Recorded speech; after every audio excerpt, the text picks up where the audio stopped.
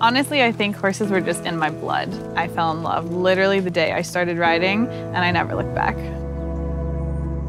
Dressage, if you've never seen it before, it's kind of like ballet on horseback, and that perfectionist aspect of it was perfect for me. I've wanted to go to the Olympics basically since I was three years old. It's just in me to try and be the best that I can possibly be in anything I do. Grand Prix is the highest level in the sport. Making sure that their mental game is as strong as their physical game is the only way you get your horse to compete at the top level. You could take the competition away. I do it because I love training.